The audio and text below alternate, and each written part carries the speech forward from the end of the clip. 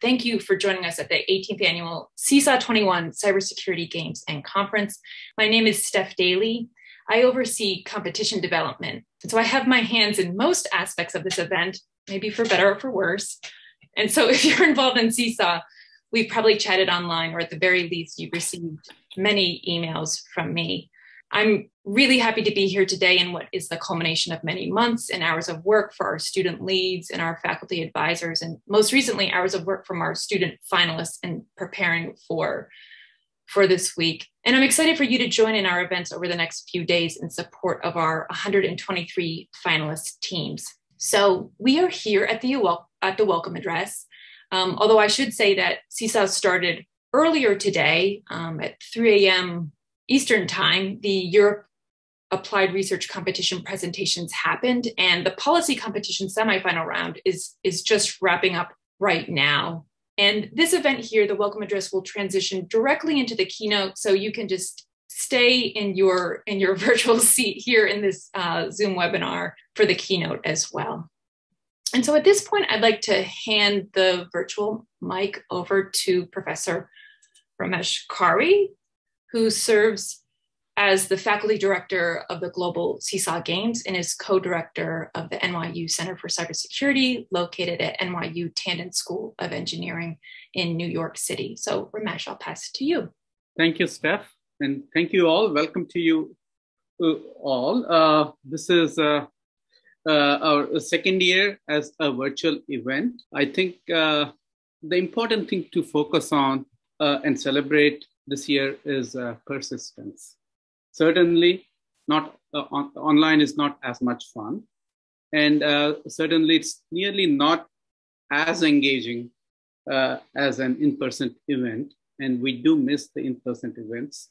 Uh, but students, all of you who are at the heart of this event, continue to tell us that uh, you are appreciative of the effort to work on research and the hands-on learning, and that this is a very valuable experience to you.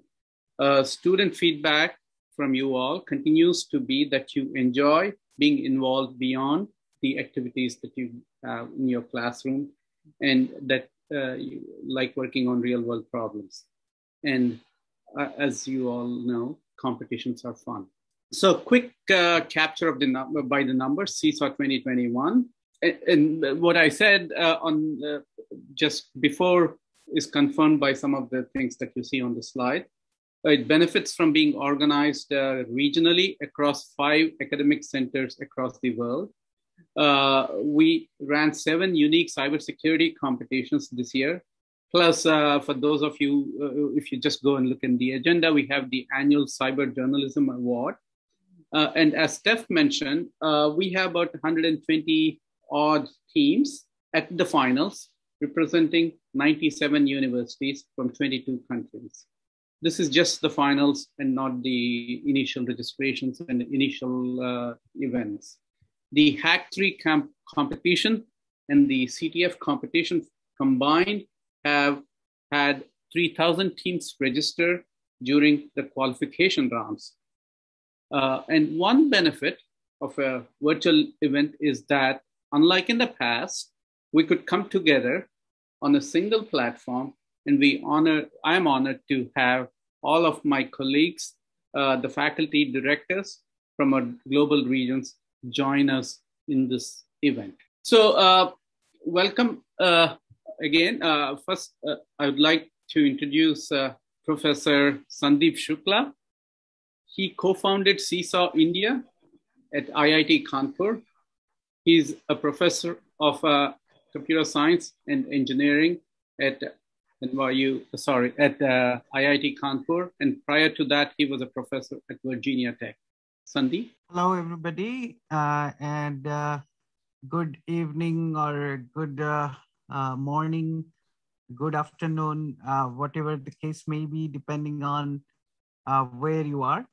So uh, I would just briefly talk about CSAW India. So we started in 2016, just that that's one year after the CSAW in this form was founded.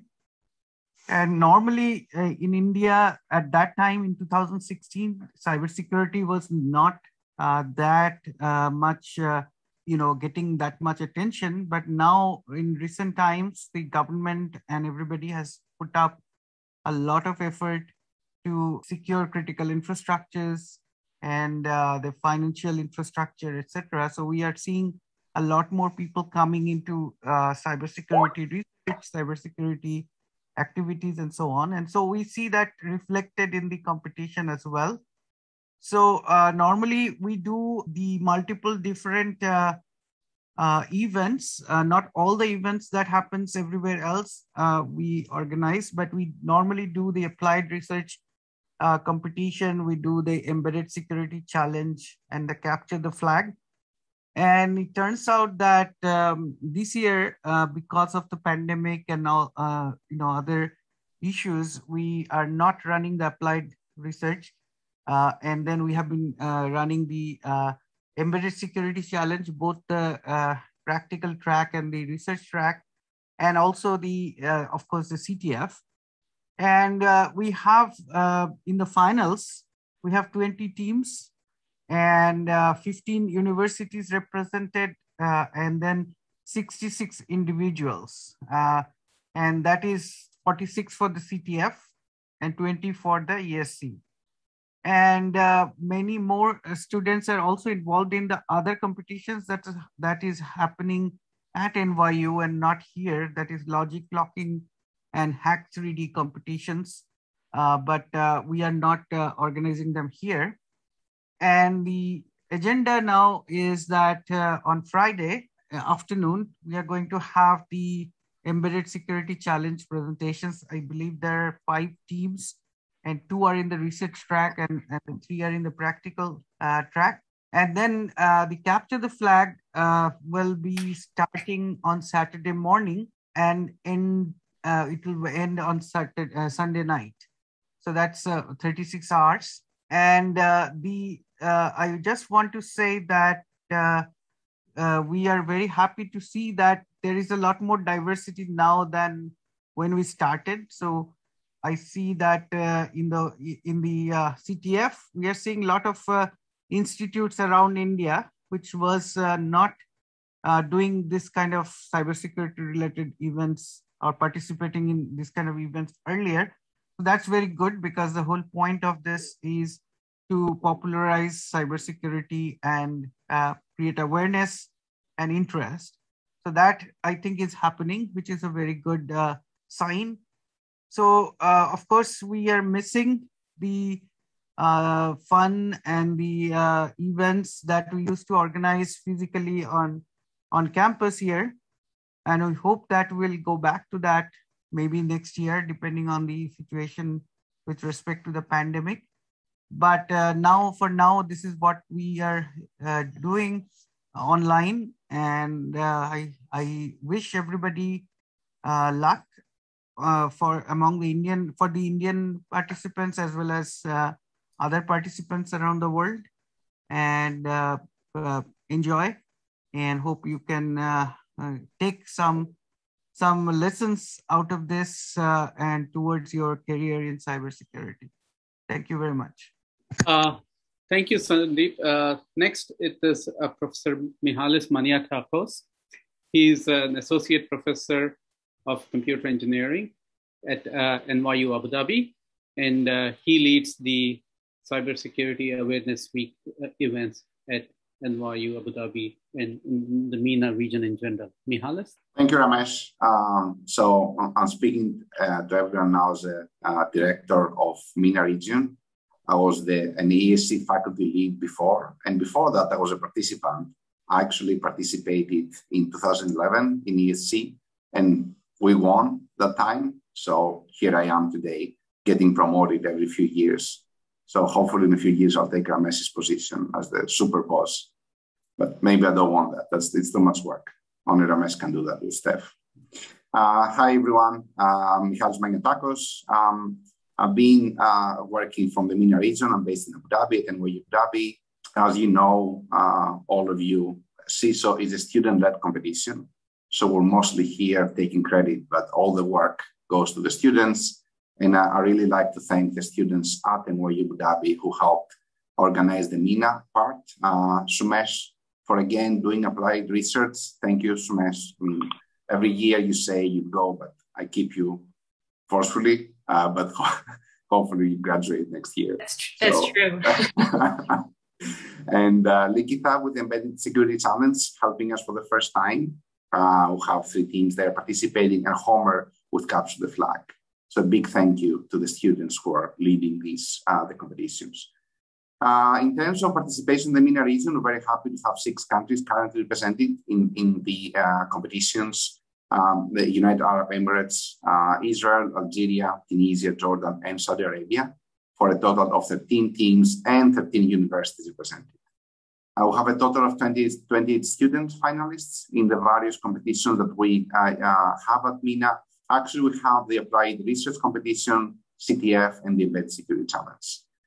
And um, I, I, wanted to say that we're very, very happy to have. CSAW was one of the first cybersecurity events in the region. Uh, others have started, but uh, CSAW brought uh, awareness about cybersecurity back in 2015. That it wasn't that cool as it is today. So a big thank you to Ramesh and Nasir. That was back then uh, the lead. So that's it for me. Thank you, Mihalis. Uh, now let me introduce Professor Edgar uh, Ortiz uh, uh, Loyola from Ibero Americana University in Mexico City. He's uh, the advisor and lead uh, of the CSAW Mexico, joined with his colleague. Edgar, could you take over? Yes, thank you very much, Ramesh.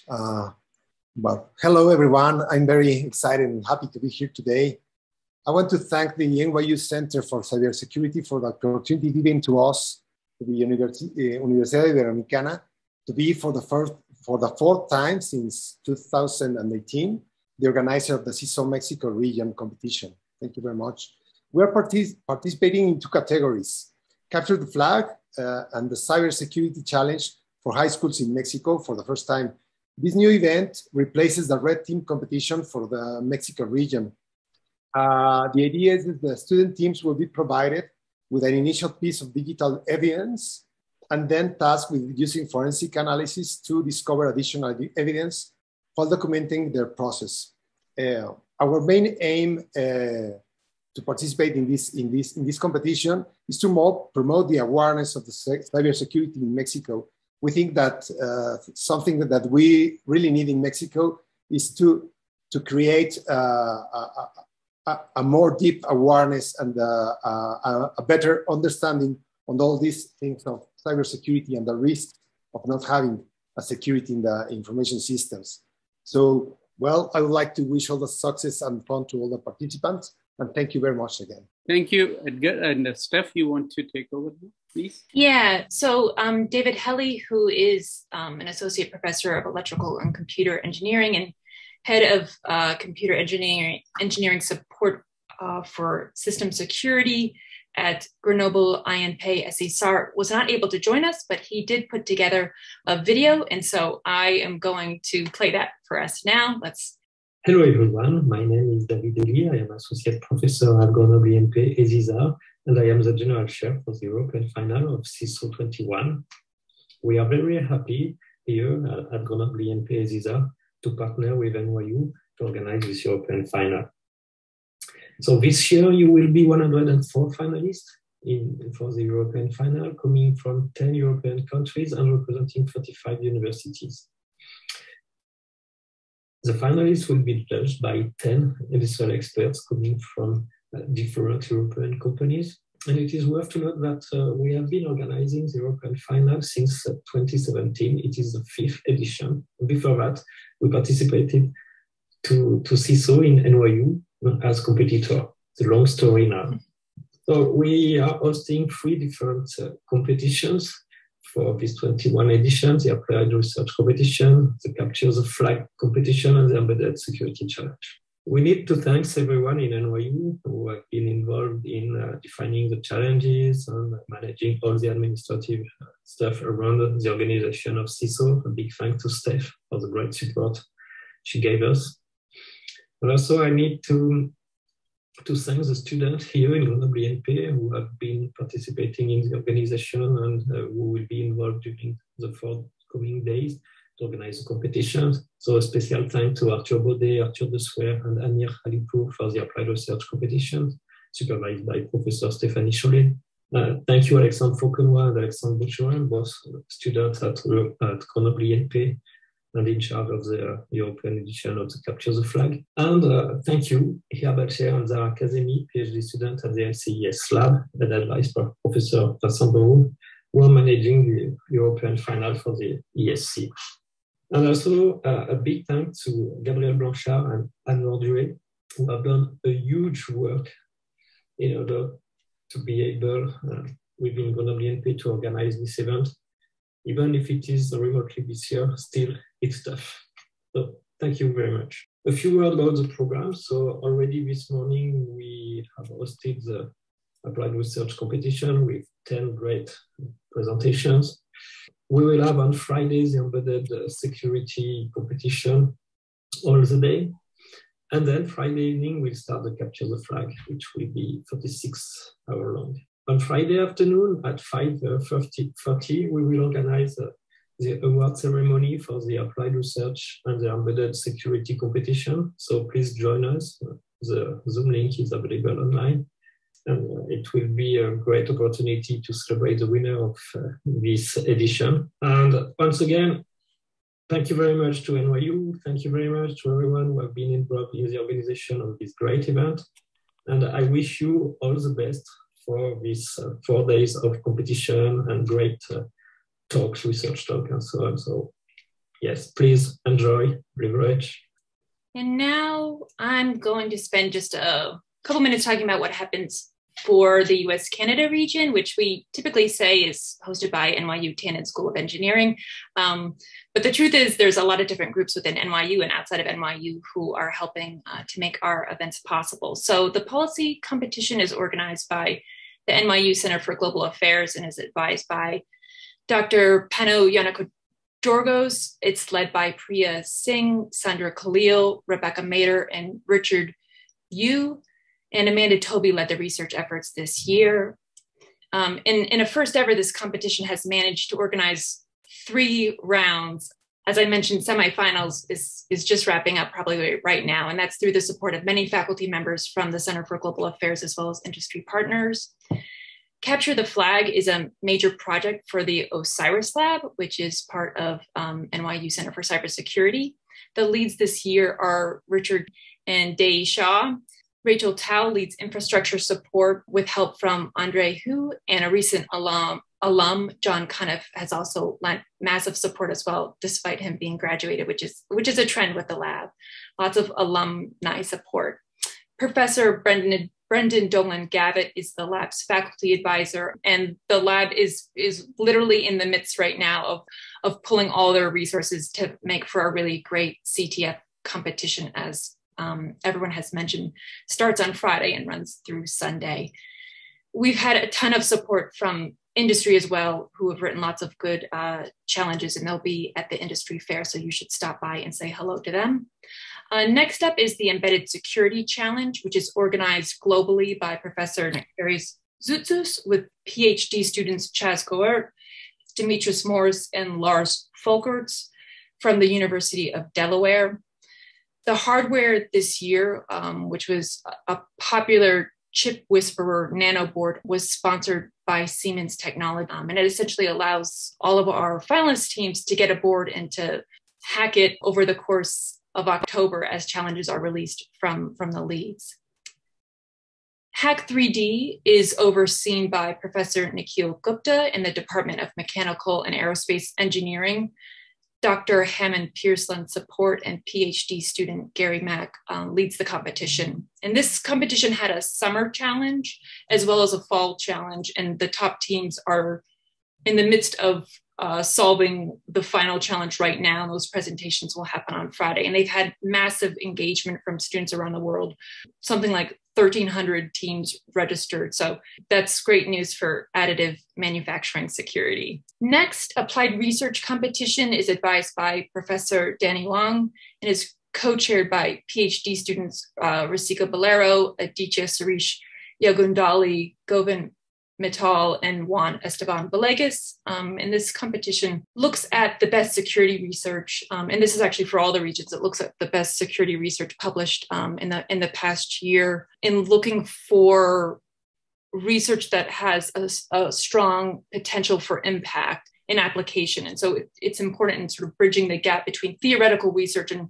research that's useful in industry. Logic locking is uh, logic locking conquest is coordinated by Professor Ben Tan now at the University of Calgary and is led by PhD students Jitendra Bhandari and Abdul Thalakudu Musa. This competition examines uh, state of the art techniques for protecting intellectual property of integrated circuits from security threats. And uh, finally, I wanted to also mention the IC layout security uh, competition, which is new and up and coming. It's being developed under Dr. Johan uh, Knechtel at NYU Abu Dhabi um, with support from Jitendra Bhandari and Jayanth Gopinath here at NYU Tandon. And you can learn more about that by attending Johan's talk um, at 1.15 today. So now I will pass it back to Ramesh. Uh, thank you, Steph. Uh, uh, I want to thank all our sponsors. Every year, these are the uh, the sponsors are pivotal for the success of the programs. Uh, when we were doing these things in person, they would support travel and uh, other activities. so I want to thank DTCC and Siemens, IC Consult, the National Science Foundation, CMU Information Networking Institute, Trail of Bits, Amazon Web Services, uh, Security Scorecard, and Facebook. And uh, representatives from these companies will be at the career fair today, tomorrow, and Friday. So please be sure to drop by, chat with them, and learn about the potential job opportunities. We also have many judges uh, from these companies who are lending their expertise in judging the various challenges. So thank you to them and please say thank you to them when you meet with them. So much so so much to all the judges. Additionally we have had an incredible support uh, this year for the capture the flag. And so thank you to this l- list of companies that lent their engineering time in writing the challenges.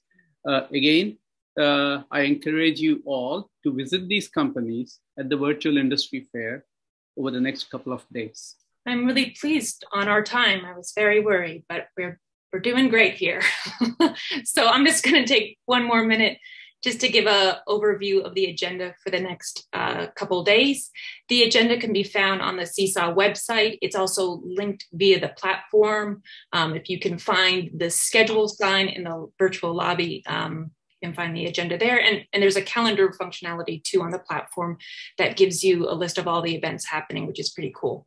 So we've talked about the industry fair. Please um, make a point to stop by the various booths um, over the course of the next few days. We're transitioning right now into the keynote, and following that will be uh, Dr. Knechtel's talk on IC layout security at 115. Following that, we have an excellent panel panel that's co-sponsored with NYU Wireless on security challenges in 5G wireless and beyond. At 3.30, Dr. Uh, Hammond Pearce, who I've mentioned, is going to be talking about his research with uh, GitHub Copilot. So that'll be very cool. And then the talks culminate today at 5 p.m. with the Cyber Journalism Award, uh, which honors Dina Temple Raston, who um, was formerly at NPR and had reported um, on the SolarWinds hack. So that'll be excellent as well. And we have some competition meetups with leads at 6 p.m. Tomorrow is a is a relatively quiet day on the platform. Um, everyone is is welcome to join, but this day um, it, it's Veterans Day in the United States. It's Remembrance Day in Europe and other parts of the world, um, and so we wanted to be able to make sure that um, students and or employers who have the holiday and are, are honoring those uh, these holidays have space for that. So tomorrow i would encourage all of our if you have time all of our, our finalists to, to come onto the platform get comfortable with it. You can find me on the platform. I'm happy to give you a little virtual tour. Uh, but this is really just a day set aside for for dry runs and of course the industry fair and then on Friday, we have all sorts of competitions happening on Friday. It's going to be very exciting, plus a series of award ceremonies. And then CTF kicks off Friday afternoon, Friday evening, and it culminates Sunday morning in the US and Sunday evening in India, and we'll have an award ceremony uh, directly following that on the platform. So that should be very fun. And so now I will um I'll hand it back over to you, Ramesh, for uh, transitioning into our keynote.